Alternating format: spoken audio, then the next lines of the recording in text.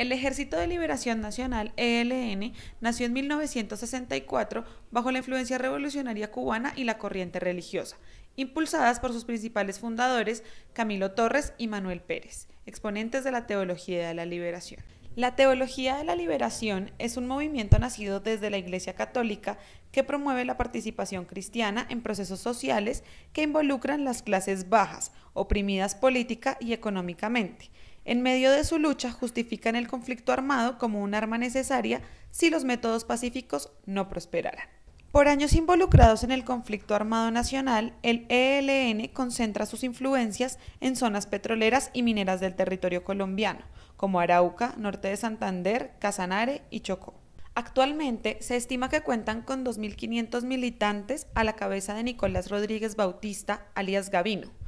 aunque en el pasado se negaron a tener vínculos con el narcotráfico, dentro de sus áreas de concentración usan el cuidado de cultivos de coca y la minería ilegal como métodos de financiación, además de los consabidos secuestros extorsivos. El ELN ha participado sin éxito en dos procesos de desmovilización a lo largo de su historia. El primero durante el gobierno de César Gaviria a principios de la década del 90 y el segundo a mediados del 2002 durante el periodo presidencial de Álvaro Uribe Vélez. El pasado 7 de febrero se dio inicio en Quito, Ecuador, a la fase de negociación por parte del gobierno de Colombia con esta guerrilla. Durante el proceso, la agenda incluye participación en la sociedad, democracia, transformaciones para la paz, derechos de las víctimas, fin del conflicto armado e implementación, en pro del cese al conflicto y la consecución de nuestra tan anhelada paz.